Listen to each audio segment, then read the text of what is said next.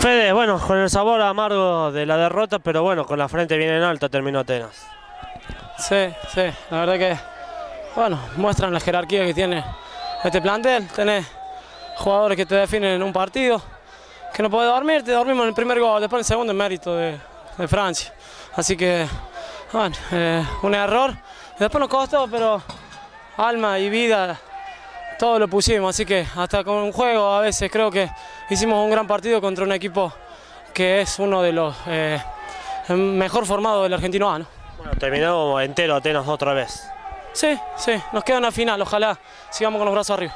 Bueno, quedan eliminados la Copa Argentina, hicieron un buen papel directamente en este torneo.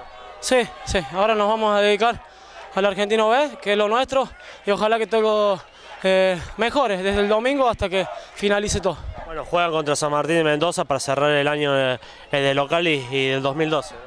Sí, sí, un buen rival, pero tenemos que hacernos fuerte de local. Muchas gracias. gracias.